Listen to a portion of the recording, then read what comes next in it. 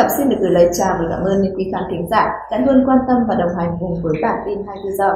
Trong bản tin ngày hôm nay sẽ mang đến cho quý vị và các bạn những tin tức đáng chú ý nào. Xin mời quý vị và các bạn cùng theo dõi.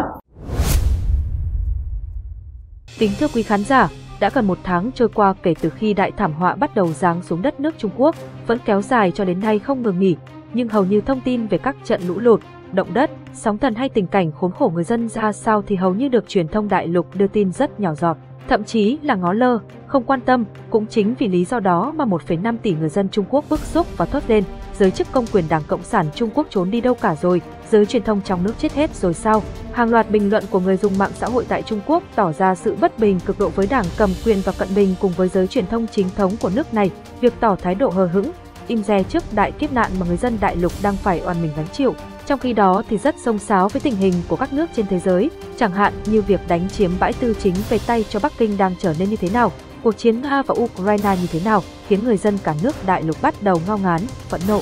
Phải kể đến từ đầu tháng 8, do mưa lớn kéo dài không dứt khiến 11 tỉnh thành miền Nam Trung Quốc đã ngập nặng, khiến cuộc sống của hơn 35,5 triệu người dân hàng ngày bị ảnh hưởng, hàng trăm người chết và mất tích, hơn 120.000 người vào thời điểm đó phải sơ tán khẩn cấp. Đến nay mới bước vào đầu tháng 7, nhưng hiện tại mưa lũ, động đất, sóng thần đã và đang hoành hành tại nhiều khu vực từ Bắc chí Nam, từ Đông sang Tây của đại lục. Tuy nhiên, đứng trước sự khổ nạn to lớn của người dân, truyền thông Trung Quốc trước sau như một vẫn im lặng như tờ, vẫn rất tập trung mọi nguồn lực, ra sức tuyên truyền về chủ quyền biển đảo phi pháp của mình trên Biển Đông và Đài Loan, rồi điều hàng ngàn quân lính ra Biển Đông xâm chiếm lãnh hải các nước láng giềng, nhằm đánh lạc hướng sự chú ý của thế giới và tình hình rối ren trong đất nước của mình, khiến cho cư dân mạng không khỏi bức xúc.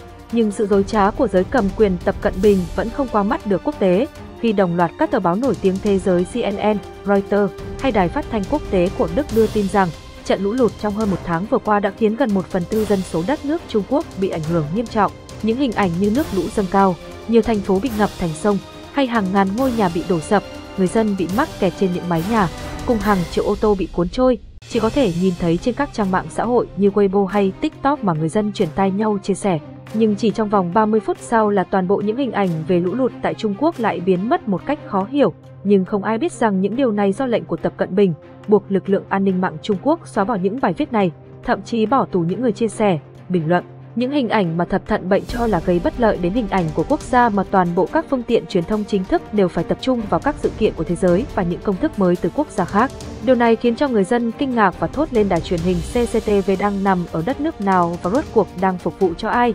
Trong khi đó, mấy ngày vừa qua, tại tỉnh Phú Xuyên, Trung Quốc, một trận mưa kéo dài gây lũ quét và đã tàn phá kinh hoàng nơi đây. Hàng ngàn xác chết gây mùi hôi thối của con người trôi nổi trên những dòng sông và một vùng đất công nông nghiệp ở tỉnh miền Tây Nam nước này. Theo Nhân dân Nhật báo online cho biết, cơ quan y tế và an toàn tỉnh Quảng Tây đang xử lý khử trùng khoảng 1.600 xác chết sau khi nước lũ tràn ngập qua các vùng hạ lưu, làm rất nhiều người và gia súc chết.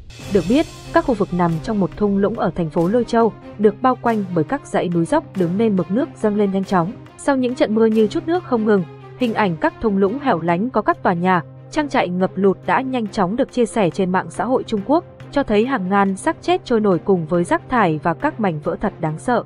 Các chuyên gia thời tiết cho biết, lượng mưa gần 400mm rơi xuống chỉ trong vòng 20 giờ, gây lũ quét khắp khu vực. Một trong số nông dân tìm cách để đưa súc vật đến những nơi an toàn, nhưng tại trại lợn ở Đại Hóa, các nhân viên trong trại đã không thể sơ tán kịp thời. Một nhân viên nói, mực nước tăng từ 0 đến 3 mét chỉ trong vòng vài phút và chúng tôi không biết phải làm gì. Cuối cùng, chúng tôi phải chứng kiến cảnh hàng chục nghìn xác chết động vật bị cuốn trôi theo dòng nước lũ. Mặc dù đa số người dân cũng biết bơi, nhưng do lũ xiết và bị mắc kẹt trong các vòng xoáy không thể thoát khỏi dòng nước lũ nên đã chết. Chỉ khi mưa tạnh và nước bắt đầu rút dần, thì mọi người mới chứng kiến mức độ thật sự của thảm kịch này, với hàng trăm ngàn cái xác trôi nổi đầy vùng. Hiện cơ quan chức y tế an toàn phải đối mặt với nhiệm vụ loại bỏ toàn bộ xác chết, đảm bảo rằng chúng được khử trùng và hỏa thiêu. Tuy nhiên, nhiều người sử dụng Weibo của Trung Quốc cũng bày tỏ quan ngại rằng xác con người có thể chôn cất hỏa thiêu, nhưng lợn, gà, trâu, bò gia súc thì không. Chúng có thể tái hóa thành thịt lợn và được tiêu thụ tại các chợ địa phương hoặc tại các nhà hàng thức ăn nhanh. Đây là điều mà các quan chức nên chú ý đến. Các quan chức đang nhấn mạnh rằng tất cả các xác chết sẽ được xử lý và hứa rằng họ sẽ không để bất kỳ ai đưa thịt chúng lên bàn ăn. Được biết, trận mưa lớn đã gây ra lũ lụt liên tục cho 40 quận tại 10 thành phố của tỉnh Tứ Xuyên và Hồ Bắc, Vũ Hán, Trung Quốc làm gần 10.000 người chết và 2.000 người khác bị mất tích. Theo ước tính, tổng số gần 6 triệu người và 49.000 hecta cây trồng bị ảnh hưởng. Trung tâm Khí tượng Quốc gia Trung Quốc đã nâng cảnh báo mưa lũ lên cấp 3 ở một số tỉnh miền Tây nước này sau khi diễn biến thời tiết đột ngột diễn xấu đi. Theo Tân Hoa Xã, dự báo những trận mưa cực lớn cũng sẽ chút xuống các khu vực tại địa bàn và các tỉnh Cam Túc, Ninh Hạ, Thiểm Tây, Sơn Tây, Hà Bắc, Liêu, Ninh, Vân Nam, Quảng Tây, Tứ Xuyên thuộc phía Tây Trung Quốc. Một số nơi có khả năng xuất hiện lượng mưa trên 200 mm mỗi h kèm theo rông, lốc, gió giật mạnh, nguy hiểm. Bộ Thủy lợi Trung Quốc đã ban hành cảnh báo màu cam về lũ lụt ở các địa bàn thuộc tỉnh Tứ Xuyên, Thiểm Tây và Cam Túc. Chính quyền các địa phương cũng đã khuyến cáo người dân nâng cao cảnh giác với lũ lụt, lở đất và lũ bùn. Những hoạt động ngoài trời ở khu vực dễ xảy ra thiên tai bị cấm hoàn toàn cho tới khi có thông báo mới. Mưa lũ đã khiến hơn 6 triệu người ở Tứ Xuyên phải sơ tán. 31 con sông trên địa bàn tỉnh này vượt quá cảnh báo lũ. Từ đầu tháng 8 tới nay, tình trạng lũ lụt nghiêm trọng ở Trung Quốc đã xảy ra ở các tỉnh phía Nam khiến gần 25.000 người thiệt mạng và mất tích, 31 triệu người bị ảnh hưởng, thiệt hại cho nền kinh tế lên tới 25,78 tỷ USD. Trong lịch sử Trung Quốc, lũ lụt luôn là một loại thiên tai gây thiệt hại nghiêm trọng nhất cho người dân. Có nhiều nguyên nhân gây ra tình trạng lũ lụt tồi tệ ở Trung Quốc, trong đó phải kể đến các yếu tố như khí hậu, địa hình và sự phân bố dân cư.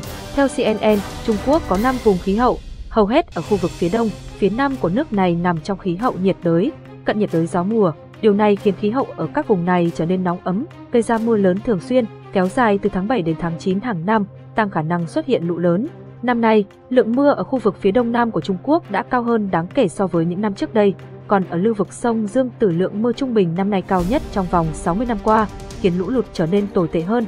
Trong mùa lũ những khu vực này rất dễ bị ngập lụt. Nếu vẽ một đường thẳng từ thành phố Hạ Bắc Hắc Long Giang đến thành phố Đằng Sung, Vân Nam, ta sẽ thấy rõ một con đường gọi là đường hồ xuất hiện trên bản đồ đường hồ bao gồm các sông, hồ lớn, nhỏ liên tiếp nhau. Trung Quốc có lịch sử nông nghiệp hàng nghìn năm. Từ thời cổ đại, người Trung Quốc đã sống phụ thuộc vào nông nghiệp, việc sống sát các hồ lớn đảm bảo mùa màng bội thu khi có nguồn nước dồi dào, đất đai màu mỡ. Vì vậy, ở Trung Quốc, những tỉnh thành có sông, hồ lớn luôn thu hút nhiều người tới định cư. Các thành phố với dân số hơn 10 triệu người, bao gồm Thượng Hải, Trùng Khánh, Quảng Châu, Vũ Hán được nằm ở phía đông của đường hồ. Đây là nơi sinh sống của hàng chục triệu người và có ảnh hưởng nền kinh tế rất lớn. Tuy nhiên, việc xây dựng sát bờ sông khiến diện tích đầm nước ven sông bị mất đi nước. Vì vậy nước chảy xiết hơn, dễ tràn vào các khu đô thị và gây thiệt hại nghiêm trọng. Giải mây mai cũng kết hợp với biến đổi khí hậu, được cho là nguyên nhân lớn nhất khiến cho mưa lũ năm nay ở Trung Quốc kéo dài và nghiêm trọng hơn. Kính thưa quý khán giả, trong nhiều ngày qua, mưa lớn trút xuống nhiều khu vực của Trung Quốc, gây lũ lụt, làm ngập đất, canh tác gián đoạn giao thông và khiến nhiều người dân bị mắc kẹt. Thành phố Kỳ Dương ở tỉnh Hồ Nam, miền Trung Trung Quốc hứng chịu đỉnh lũ trong chiều qua, tại một số làng nước sông tràn bờ, nhấn chìm nhà cửa và ruộng lúa. Gần 900 dân làng đã được sơ tán. Tại khu tự trị dân tộc Choang, Quảng Tây, miền Nam Trung Quốc mưa liên tục làm ngập đường phố và gây lở đất ở các vùng nông thôn. Mực nước ngập đo được tại một số nơi lên tới 20 cm. Chính quyền địa phương đã triển khai phương tiện và nhân viên nạo vét tại một số nơi để đảm bảo giao thông. Mưa bão làm đổ cây, gây ngập úng và lở đất ở thành phố Ngọc Lâm, tỉnh Quảng Tây khiến một số cư dân trong làng bị mắc kẹt. Tại tỉnh Cam Túc, hơn 1.300 người bị ảnh hưởng và 266 hecta đất nông nghiệp bị ngập lụt, gây thiệt hại ước tính 2,29 triệu nhân dân tệ. Trung Quốc đang trải qua đợt diễn biến khí hậu bất thường, khiến cho ngành nông nghiệp của nước này bị thiệt hại nghiêm trọng. Lượng mưa lớn đã làm gián đoạn vụ thu hoạch lúa mì ở các tỉnh miền Trung của nước này và được đánh giá là vụ gián đoạn tồi tệ nhất trong một thập kỷ qua. Trong nhiều ngày qua, mưa lớn tiếp tục chút xuống khiến nhiều khu vực của Trung Quốc gây bị lũ lụt, làm gián đoạn giao thông và khiến cho nhiều người dân bị mắc kẹt. Thành phố Kỳ Dương ở tỉnh Hồ Nam, miền Trung Trung Quốc hứng chịu đỉnh lũ trong chiều hôm qua, tại một số làng nước sông tràn bờ nhấn chìm nhà cửa và ruộng lúa. Gần 900 dân làng đã được sơ tán tại khu tự trị dân tộc Choang Quảng Tây, miền Nam Trung Quốc. Mưa liên tục làm ngập đường phố và gây lở đất ở các khu vực nông thôn. Mực nước ngập đo được tại một số nơi lên tới 20 cm. Chính quyền địa phương đã triển khai phương tiện và nhân viên nạo vét tại một số nơi để đảm bảo giao thông. Mưa bão làm đổ cây gây ngập úng và lở đất ở thành phố Ngọc Lâm, tỉnh Quảng Tây khiến một số cư dân trong làng bị mắc kẹt. Tại tỉnh Cam Túc, hơn 1.300 người bị ảnh hưởng và 266 hecta đất nông nghiệp bị ngập lụt, gây thiệt hại ước tính 2 triệu 290 nghìn nhân dân tệ, tương đương khoảng 316 nghìn đô la Mỹ. Bản tin ngày hôm nay của chúng tôi đến đây là kết thúc. Mọi thông tin đóng góp tin xin để lại dưới phần bình luận. Nếu thấy hay hãy cho chúng tôi một like, comment, share và nhấn chuông để đăng ký kênh.